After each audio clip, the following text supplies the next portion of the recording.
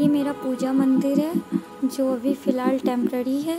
अब मैं इसे अच्छे से इसका मेकओवर करके, एक न्यू डिज़ाइन का लुक देके अच्छे से साफ़ करूँगी सबसे पहले।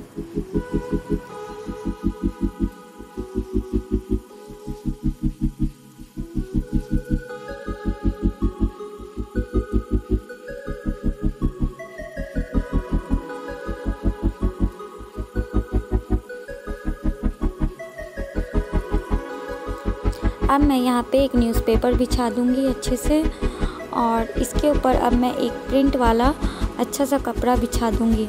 आपके पास जो भी कपड़ा अवेलेबल हो, आप बिछा सकते हैं।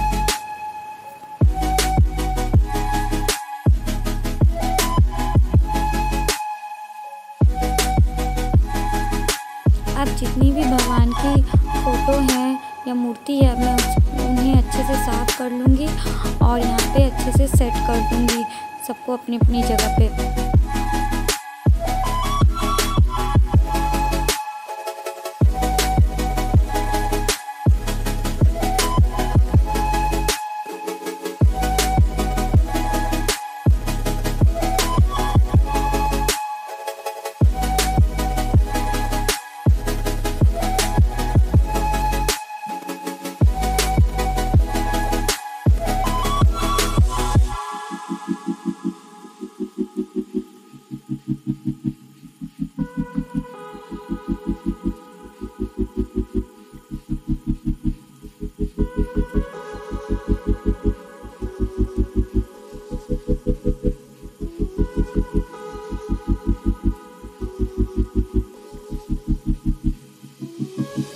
मेरे छोटे से लड्डू गोपाल हैं। अब मैं इन्हें भी अच्छे से साफ़ करके इन्हें अपने स्थान पर बिठा दूँगी।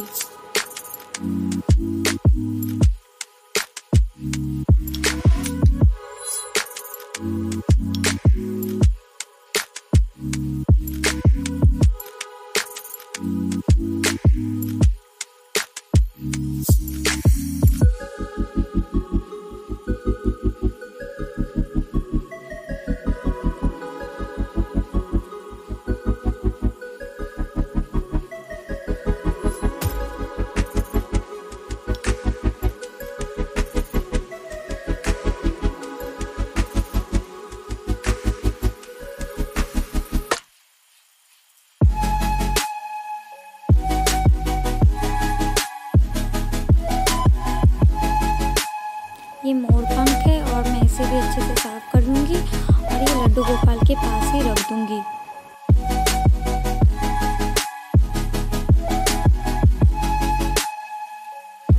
अब इधर साइड में मैं पूजा के जो भी सामान रहते हैं, जैसे अगरबत्ती या फिर प्रसाद चढ़ाने वाला या भगवान के कपड़े, बत्ती, जो भी है, मैं इन्हें बास्केट में या ड्रॉर में करके रखती हूँ तो मैं इन्हें भी अच्छे से एडजस्ट करके साफ़ करके रख दूँगी। तो ये मेरे अभी बिखरे बिखरे से हैं, जो मैं इन्हें अभी पहले सबसे पहले साफ़ करूँगी।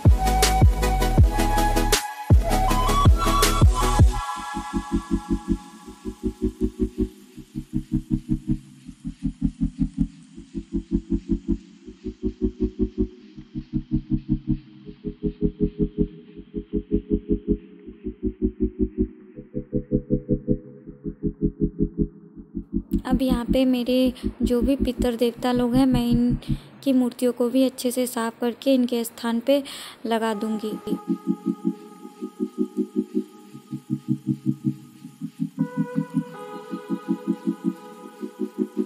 यहाँ पे भी मैंने एक प्रिंट वाला कपड़ा बिछा दिया है।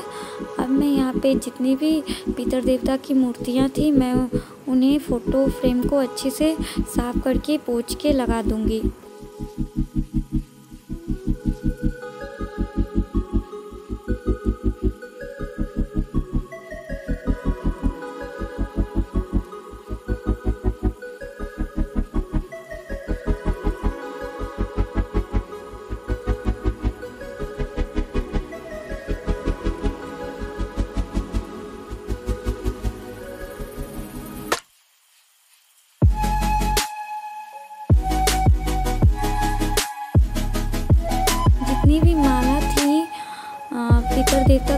चढ़ी हुई हैं उन, उनको मैं अच्छे से धो ली हूँ और धो के पोछ के अच्छे से फिर से आ, लगा दूँगी।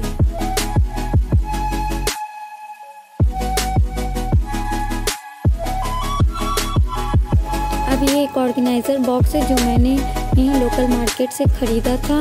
इसे भी मैं अच्छे से साफ़ कर लूँगी और जितनी भी पूजा की सामग्री है इनमें सब रख दूँगी।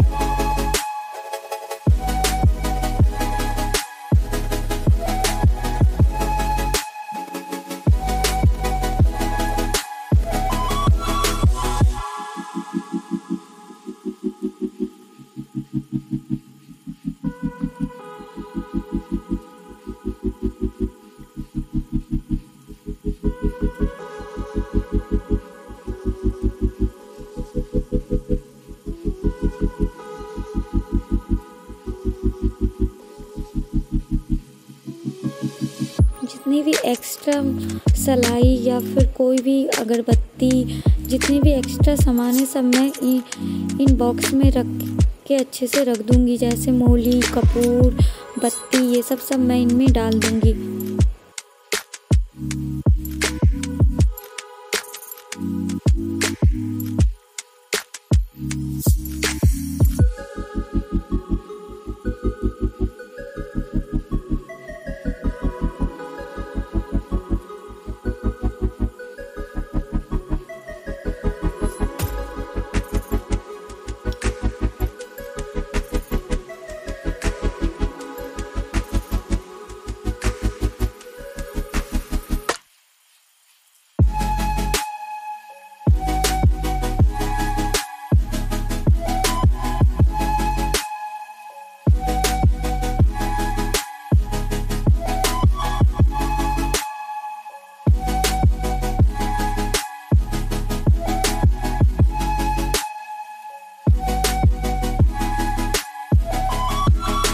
ये एक ड्रॉर है जो फ्रिज ड्रॉर है तो मैंने फ्रिज में यूज़ करके नहीं करके यहाँ पे यूज़ किया है।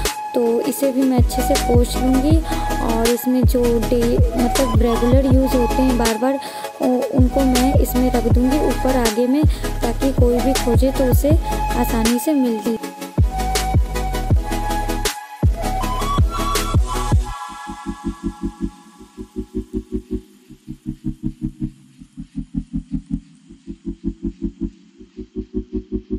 ये मैंने छोटे छोटे डब्बों में जैसे फूल बत्ती को घी में डुबा दिया है या फिर बत्ती को तेल में डुबो के सबको अलग अलग करके रख दिया ताकि बार बार मुझे परेशानी नहीं हो एक एक करके लेने में।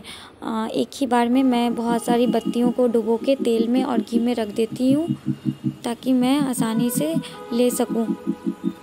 इसमें मैंने चावल रखा है ताकि रोली के लिए यूज़ किया जा सके, कभी भी कोई भी ले सके। और इसमें मैंने रोली रखी है थोड़ी सी निकाल के। ये लड्डू गोपाल का छोटा सा आईना है। जब मैं लड्डू गोपाल को नहला के तैयार करती हूँ तो उन्हें मैं दिखा देती हूँ।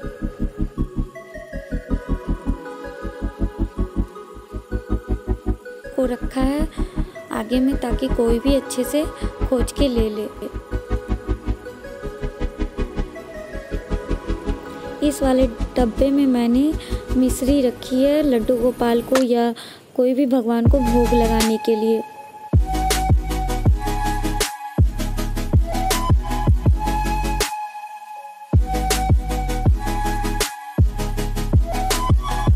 एक और बास्केट का यूज़ मैं यहाँ पे कर रही हूँ। इसमें मैंने ये लड्डू गोपाल के लिए जो मखाने होते हैं, उसे मैं भोग लगाती हूँ।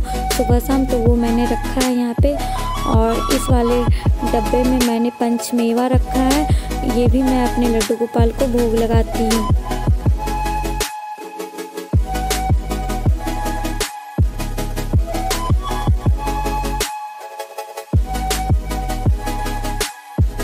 इस वाले डब्बे में मैंने थोड़ी सी गेहूँ रखी है, ताकि गेहूँ कहीं पे भी पूजा में लगे तो आसानी से ले सकूँ।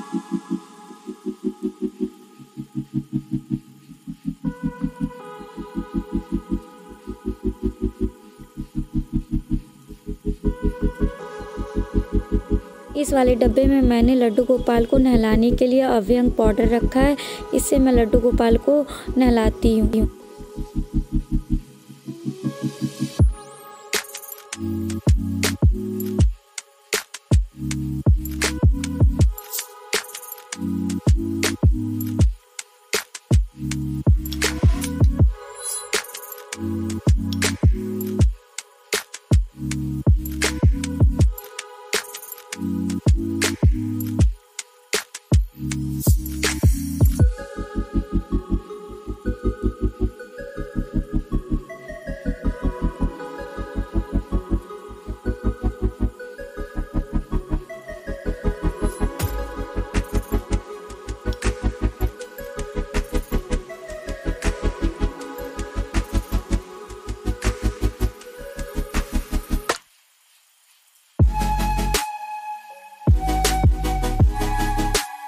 डायरी हमेशा मैं लड्डू गोपाल के पास रखती हूँ। इसमें जो भी तकलीफ़ होती है, मैं लड्डू गोपाल के पास लिख के रख देती हूँ।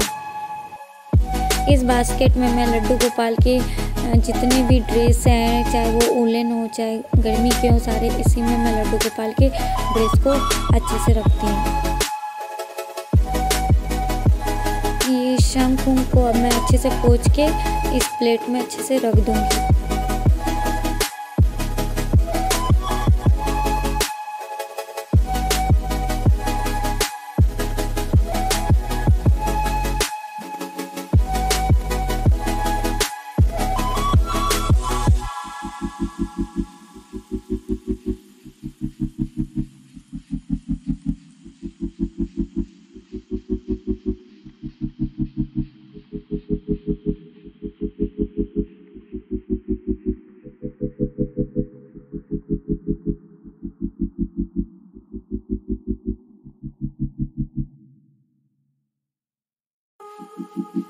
इस अलमारी में मेरे नीचे भी ड्रॉर बना हुआ है। इसमें मैं जो ज़्यादा यूज़ के सामान नहीं है, बहुत रेयर यूज़ होते हैं, उसे मैं रखती हूँ।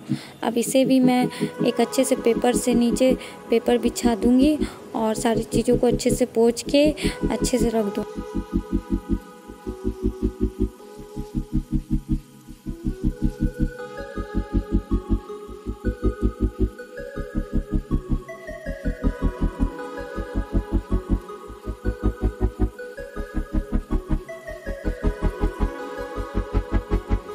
जितनी भी पर्व त्यौहार की बुक्स हैं, आरती की सब मैं इसके अंदर रखती हूँ जो रेयर यूज़ होते हैं।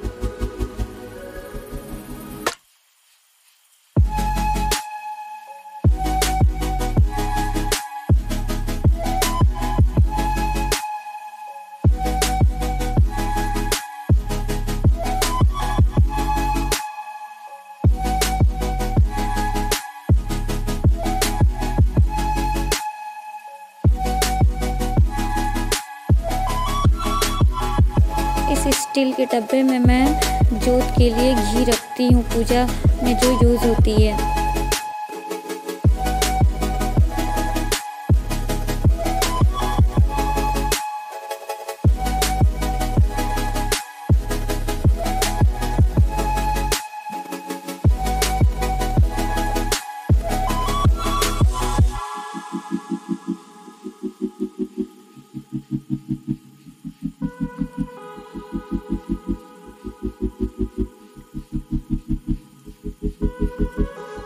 इसे भी मैंने अच्छे से साफ़ कर दिया है। अब आगे से भी मैं इसे अच्छे से पोस दूँगी कपड़े से, ताकि जो भी धूल मिट्टी हो वो हट हट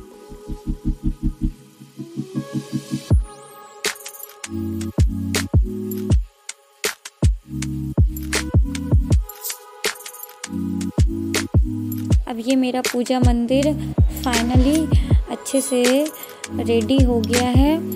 अब ये फाइनल लुक देख सकते हैं आप। यहाँ का।